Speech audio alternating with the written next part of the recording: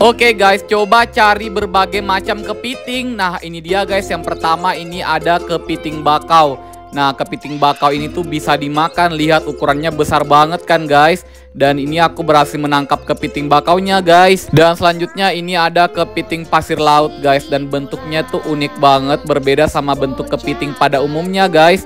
Nah, kepiting ini tuh memiliki cangkang yang lebar. Dan lihat bentuk capitannya keren banget kan. Dan selanjutnya ini ada kepiting batu. Kenapa dibilang kepiting batu? Karena warnanya itu mirip batu dan juga sangat keras guys. Dan kepiting ini tuh nggak bisa dimakan ya guys. Nah dan selanjutnya ini ada kepiting pantai atau kepiting pasir guys. Ini biasanya kepitingnya suka buat sarang di pesisir pantai guys. Dan kepitingnya tuh lincah banget guys.